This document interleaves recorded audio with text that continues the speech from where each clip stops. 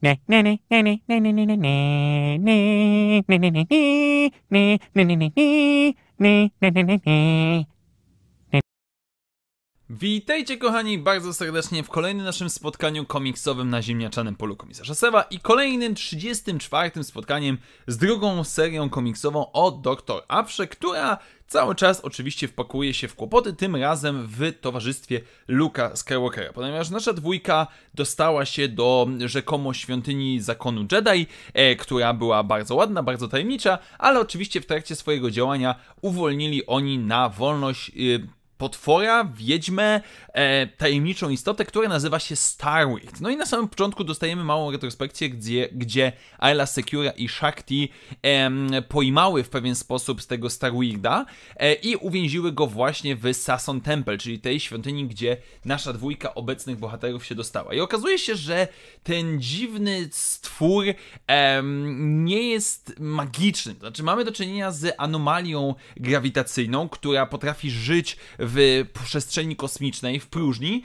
i która kontroluje w pewien sposób siłę magnetyczną, e, przyciągając, odciągając różnego rodzaju rzeczy. No i nasza ekipa postanawia, to znaczy postanawia, próbuje oczywiście za wszelką cenę uciec, jednocześnie zabierając ze sobą artefakt, który okazuje się pewnego rodzaju em, gwizdkiem, e, ogranicznikiem, który przez chwilę potrafi kontrolować e, naszego potwora, ale doktor Afra nie wie dokładnie jak to funkcjonuje, no i nasza ekipa e, musi powiedzmy salwować się ucieczką. Po drodze Afra cały czas próbuje to rozkminić, a jednocześnie zakładają oni pułapkę e, polegającą na odbijających się lustrach, które pokazują wszędzie Luka Skywalkera, e, przez co potwór rozbija się po całej okolicy, a następnie wykorzystują e, holokron, czy też powiedzmy obraz e, Adi e, Shakti oraz Ailey Security, żeby znów odciągnąć. I po ostatecznej konfrontacji, e, powiedzmy po ostatecznej ucieczce, kiedy już znajdują się na statku, Luke'owi Skywalkerowi za pomocą mocy udaje się użyć tego artefaktu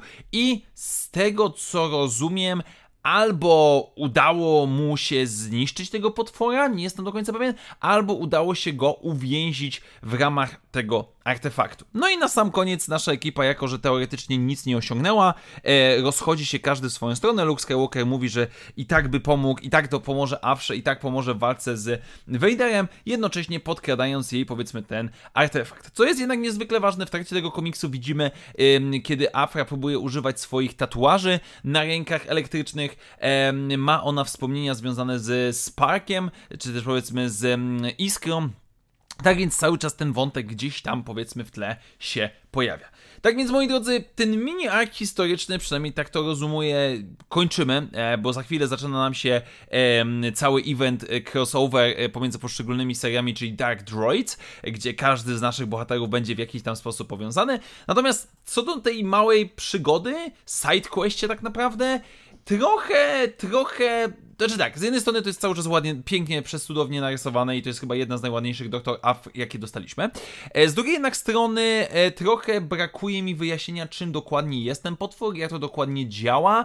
E, można byłoby to, znaczy to jest fajny przypadek taki, że o Luke, chodź pomogę ci znaleźć jakieś artefakty Jedi, oj, uwolniliśmy potwora, który jest jakąś tam dziwną anomalią kosmiczną i to jest przyjemny wątek z tego względu, że rzeczywiście ja lubię po prostu, kiedy w Gwiezdnych Wojnach mamy do czynienia z dziwnymi różnego rodzaju istotami. Z drugiej strony, absolutnie nie mogę powiedzieć, że ten wątek, czy też powiedzmy ten ark historyczny krótki jest jakoś specjalnie wyjątkowy. Mam wrażenie, że on jest takim trochę zapychaczem, żeby do tego Dark Droids dotrzymać, ale no cóż, stało się i tyle. Zobaczymy, w którą to stronę będzie szło. Nasza przygoda dwójki bohaterów się zakończyła. Liczę bardziej na rozwój naszej głównej bohaterki i pewnego rodzaju mimo wszystko zmierzanie już do końca tej serii komiksowej.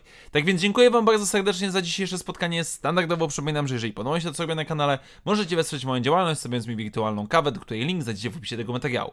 Jeszcze raz wielkie dzięki, do zobaczenia wkrótce w następnych materiałach i jak zawsze niech moc będzie z Wami. Na razie, cześć!